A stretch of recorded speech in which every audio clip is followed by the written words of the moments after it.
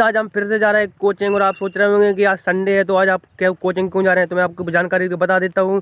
भाई साहब ने बोला था कि आज की छुट्टी नहीं करूँगा दो तीन दिन बाद होली है तो होली की एक साथ कर दूँगा।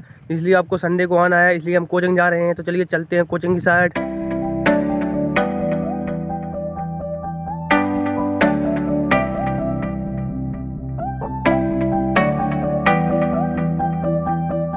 तो गाइस अभी के टाइम हम लोग प्रतीशाला पर आ चुके हैं और प्रतीशाला से कुछ प्रकार से नज़ारा है और इस साइड यहाँ पर रोड बनने लगी है तो आपको दिख रहा होगा, यहाँ टू लाइन निकलने वाली है शायद।